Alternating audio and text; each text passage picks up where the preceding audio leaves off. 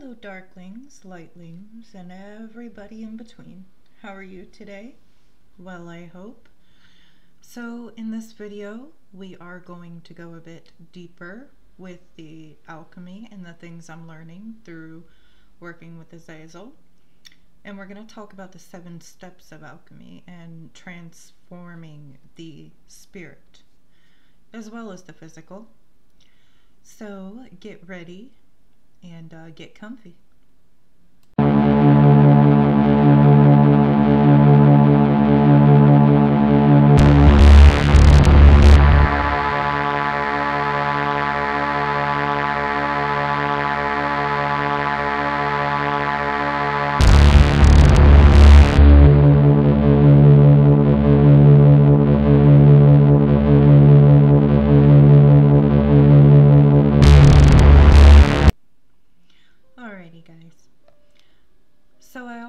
To thank a lot of the new subscribers I got and all the others that have been subscribed, the OGs, and supporting me.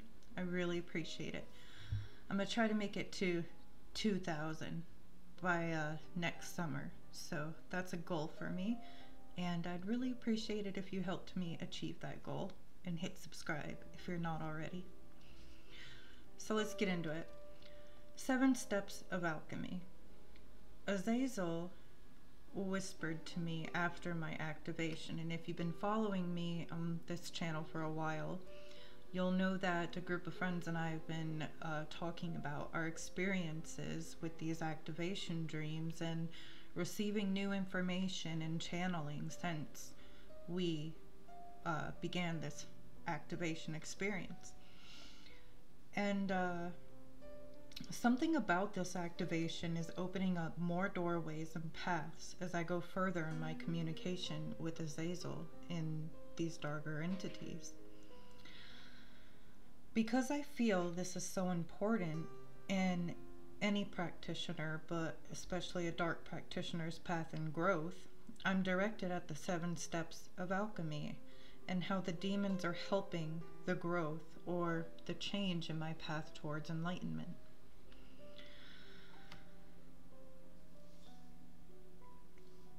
Our bodies alone are made up through alchemy, and our spirits go through these changes. Through each pathworking, we've already established the shadow work that these entities can hijack for you. Through this, I believe my alchemical transformation through these seven steps are next.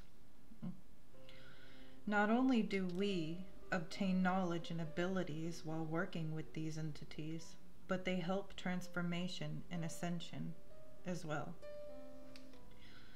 The alchemist supports the goal of reaching the enlightenment through the seven processes of alchemy. The great work initiates a mutation on the elements from its original state into a new being or a new state. So, how many of us can say that we are the same person that we were five years ago? Or what about 10 years ago? What about before you first started your path or your journey? We are constantly changing and growing through this process, but approaching these steps in my path with Azazel is unlocking hidden things about my DNA and the possibilities of what I can become. So let's talk about these steps.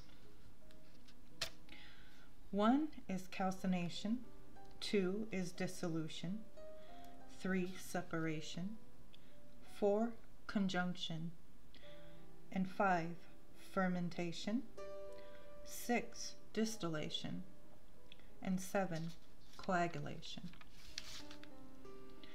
We talked about the process of some of these steps in my Descent into the Abyss video, which I will be putting up there if you are interested in watching that before this video. So let's go a bit deeper into these ideas. The first step, calcination, the beginning stage, which I admit I believe Beelzebub put that um, in motion for me for the overall transformation. but uh, that's what I'm talking about here. Um, even though each working I do with each entity, I feel has a lesser transformation through that path working a death and rebirth process, there's also the overall transformation of the spirit, right? But now I am able to identify all of this. To calcinate, we burn away the old self until it is ashes, the false identity of the ego. We have to burn it from our inner selves with our inner flames. This is crucial to truly know thyself and have the spirit mature for a step up in our level of spiritual growth. Through this process, I was broke down into nothingness and lost in the dark abyss just to find myself and rise up out of it as the phoenix. 2. Dissolution. In this step, we're recharging our interior. We recharge every cell in us and open up more energy channels spiritually. Meditation is great and crucial during this process as well. We discover dissolution of the parts into a fluid we see the perception more accurately that all things within us or created is the same primitive substance as we are. Total immersion of the subconscious, allowing us to see ourselves. 3. Separation.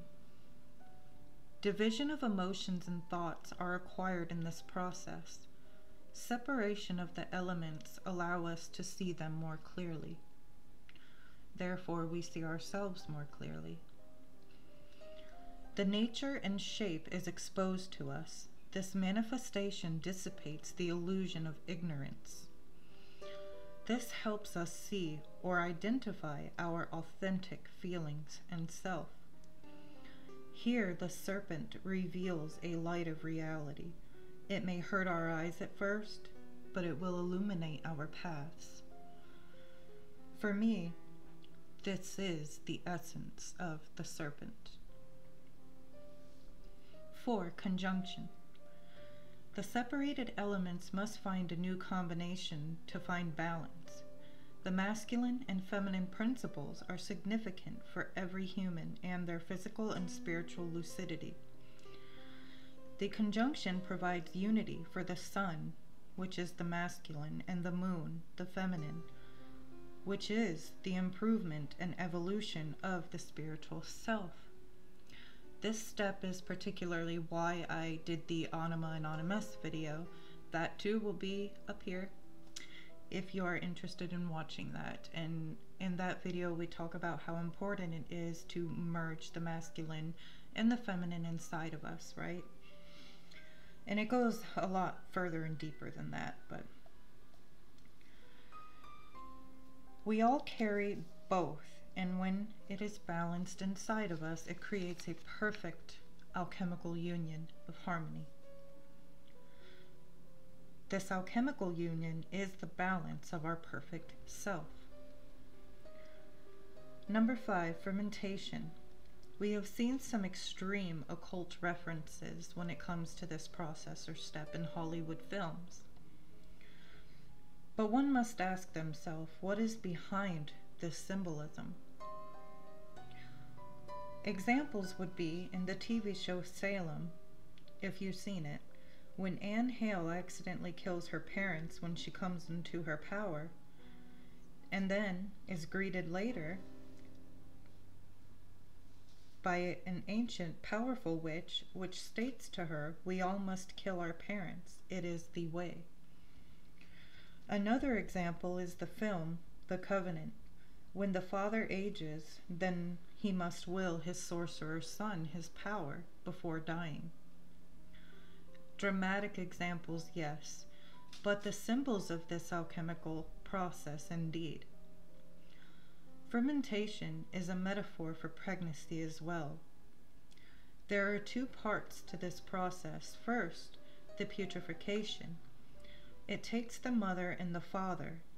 The matter breaks down and decomposes.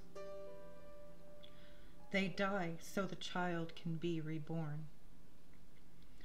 Their bodies become the fertilizer for the seed to grow. When we experience this phase, our consciousness confronts the dark side. The second stage is when the child is born. The essence of the divine spirit from above is merged with the matter below. Through this growth, we discover ways to improve spiritually and physically. Number six, distillation. Boiling the elixirs to increase the purity. In this process, the bitter things become sweet. This is a final purge before enlightenment takes place. With no impurities left, the environment for spiritual apotheosis is attained. This is talking about the impurities of things like vanity or the ego poisoning our minds if we let it overtake. 7. Coagulation. The perfect substance is found and formed. In a physical way, we observe a fluid state change into a thickened mass. This is a metaphor for the elevated self or the integration to the higher self. Maturity is achieved, and the mind, body, and spirit are at a perfect balance between themselves. We truly become free from the mind, and our consciousness can connect the spirit and the soul in perfect harmony. This is the rebirth of a new being. Now, I believe each demon I work with sends me through the death and rebirth stage constantly, consistently. Through each working, I grow through these stages, but in different perspectives. Each path working brings a different perspective of these phases and these death and rebirths. One door is discovered, and it leads to a larger hallway of many doors. Each door I unlock while working with each demon is teaching me something new to improve thyself through many perspectives of the spirits. With this new DNA activation, I believe it holds the key for me to go deeper and further and discover more about this. I'm very anxious to see where this takes me and how far I can go with it, and I'm very anxious to share it with you guys. Let me know your thoughts, and uh, do you believe that you have experienced this? Until next time, much love.